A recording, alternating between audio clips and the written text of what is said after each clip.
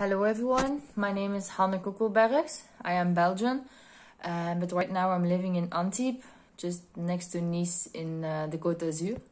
So I'm living in France. I start to speak some French. I guess by summer I will speak more fluent French.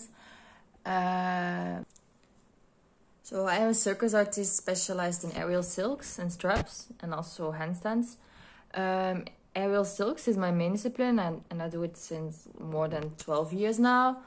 Uh, I graduated um, with aerial silks in uh, the ACAPA, the Academy for Circus and Performance Art, circus school in the Netherlands, and there I created my own style in aerial silks, which is mainly like dynamics. I really like to do dynamics and uh, invent my own tricks in silks. I love aerial silks and straps so much because um, I like sports, I like arts, and for me, just the perfect combination of the two of them. Uh, because in just in sports, you can less, you cannot be that creative as you can be in art, and uh, but in art you don't mostly move that much.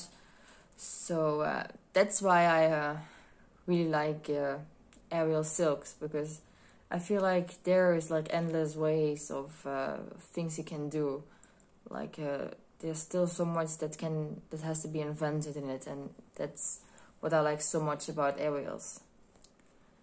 So as I already said, I uh, do aerial silk since 12 years and actually almost since the beginning. Um, I started to practice every day. I, I work really hard.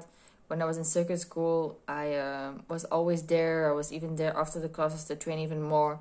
Since I'm graduated in 2019, I started to perform and teach workshops a lot, but still keep training in all my free time. Then when COVID came, still tried to uh, train every day to to keep improving my skills and to become even better. I'm really happy to come back to uh, this festival for the second time.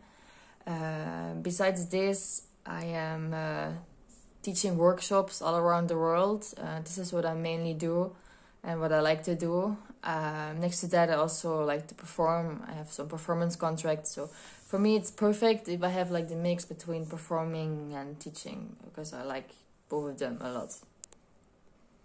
My best memory of the last edition is that actually I still see some people on Facebook um, working on the things I've learned them and how much they improved, and it's it's so awesome to see how the people improved and keep working on the things and that really makes me happy